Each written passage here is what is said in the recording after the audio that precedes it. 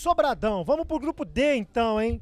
O grupo D que tem o Benfica, Inter de Milão, o Salzburg e a Real Sociedade. Aí agora é que eu quero ver. Também equilibrado, né, cara? É um outro É. tipo de equilíbrio, né? É. Acho que não é grupo da morte, não dá pra gente exagerar Eu acho desse que esse jeito. grupo é muito mais ninguém liga que o outro, mas o Natan tá nessa aí. Óbvio que não, pelo amor de Deus, gente. Vai lá, Natan. Como é que fica esse grupo aí então? Eu, então, eu vou de Inter de Milão em primeiro, pelo fato né, de ter uma experiência recente, relevante na Liga dos Campeões, pelo fato de ser campeão. O Benfica é um bom time, né? O Roger Schmidt conseguiu montar um bom time. Ah, Arthur Cabral lá agora. é, né? agora, Sempre agora dos com o reforço do Arthur Ca- do o trabalho Arthur dele é Cabral. muito bom também. Muito bom, o muito time bom. do Benfica é muito organizado. Perdeu o Gonçalo Ramos, né? É, tentou, aí trouxe o Arthur Cabral, tentou levar o goleiro Bento, né? Não conseguiu se reforçar. Ainda. Ah, é, mas a gente Tem mais um dia pra mais isso. um dia. É, aí o só. Bento se lesionou também. é Também, difícil agora eu já não sei se.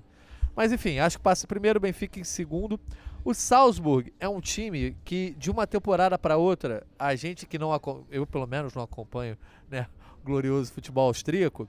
É um time que a gente tem que sempre ficar de olho, porque tem uma base muito frutífera. Então, o time que às vezes se desmonta de uma temporada para outra, ele sobe três moleques de 19 anos e volta a ser competitivo. E é um time que vem fazendo boas campanhas aí na Liga dos Campeões, ou indo para a Liga Europa, ou até mesmo chegando às oitavas de final. Então eu boto o, o Salzburg em terceiro e essa Real Sociedade, que eu acho que tá mais frágil do que nos últimos anos, eu boto em quarto. Beleza. E pra você, Coutinho? É, eu vou, vou concordar. Eu acho que a relação da Inter com o Benfica é parecida com do Real pro Napoli no outro grupo. Acho que não, acho que a Vai Inter fica em primeiro, é. A Inter fica em primeiro, mas é o tipo do jogo, por exemplo, um Benfica e Inter no, no Estádio da Luz. Eu não sei se, o Ben, se essa Inter vence. né? Não sei se a Inter vai se impor tanto assim. Acho que o Benfica é uma equipe que tem competitividade para fazer frente quando joga dentro de casa e acho que vai ser o segundo do grupo.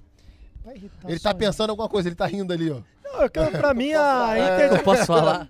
A Inter de Milão na final do ano passado foi um verdadeiro elefante em cima da árvore. Amigo, Não foi o não. jogo foi 1x0 e quase que empata Chegar na última na bola. final. Ele mas eu viu acho que o o jogo com a gente. pra É isso, Eu acho que um lado do chaveamento Pô, tava muito mais fra- fraco do que o outro. Ficou Exatamente. desequilibrado. Tudo mas bem. aí a Inter não tem culpa disso. Não, não tem culpa, A Inter, o ficou, papel a Inter ficou passou perto de pelo ser Milan, campeã. pa- passou não é pelo, bicho por um clássico. nenhum. Aí é um jogo só que tudo pode acontecer. O Santo André foi campeão da Copa do Brasil. Mas foi. Paulista foi. Mas Sport mérito, foi. é, Mas foi.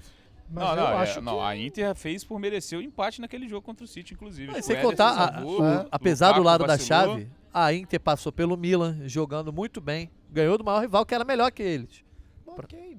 Não, Não, e, e- e assim, fez um jogo na final que não é um jogo de ficar o tempo inteiro Exato. retrancado, Não, fechadinho. não, não, Não, disso. fez um jogo que, é, que dava pra Honesto. fazer, cara. Um jogo que, pô, com inteligência na estratégia, até por, por tipo de marcação que adotou, Mas é quando um teve a bola só. jogou. mereceu o troféu de igual para igual. Mas pra fazer esse um jogo, tem que ter um mérito. trabalho por Eu- trás. o, que eu, Não o é que eu- um o que eu pego do- da sua análise e, e mudo um pouquinho é que eu acho mais complicado a Inter ter uma sequência. Acho que assim, mais uma vez eu não. Assim, eu acho que foi uma coisa inesperada, Muito. com mérito, muito mérito. E Só sorte. que eu acho. Também, mas aí até Ah, os grandes times parte, têm né? sorte. É, parte. Mas vamos pensar no seguinte: vocês acham impossível a Inter chegar nas quartas de final da Champions League? Depende de Não, muita porque coisa. o chaveamento ele é É. importante, assim. ah, Se ela passar na primeira posição e pegar um, um, um segundo colocado do grupo E, que é o Ninguém Liga, segundo o Natan, já fica uma coisa mais tranquila. E é um Decidindo investimento. em casa. E é um investimento Sim. dela hoje, é ficar Sim. entre, entre os oito da Europa. E ali. acho sim. até que o, o cruzamento do grupo E aí, vamos dizer, se fosse grupo D e grupo Se E, no sorteio um era pegar o outro. Lazio né? e Inter. O que é? É. Se fosse, tipo, primeiro do D contra segundo do E, É. O- Lazio e é. Inter. Eu, eu acho que o Roberto já é sabotado até pelo próprio grupo, porque a Inter de Milão já chega nesse grupo com total condição de classificar em primeiro. Sim. E isso sim, já sim. te abre uma possibilidade melhor na chave, Claro, no sorteio e tudo. E aí o sorteio vai, vai moldando. Eu concordo que pode não ser o mesmo. Eu, por exemplo, no meu palpite do campeonato italiano, muita gente botou a Inter em primeiro. Eu botei a- a Inter em terceiro ali. Bom, Entendeu? Mas é porque não é garantido. Mas nesse cenário aí que a gente está analisando de Liga dos Campeões, eu acho que é um time candidato a oitavas, quartas de final E tranquilamente. é isso, aí você pega o PSG, que foi candidato nas últimas duas temporadas, o PSG, pegou o Real Madrid nas oitavas em um ano e o Exato. Bayern de Munique nas oitavas em outro. Então, e tchau e benção. exatamente, com, com justiça, inclusive. Exatamente. Eu vou ser diferentão de vocês. Já Ah. que eu botei o Isaac aqui também, eu vou ser diferentão.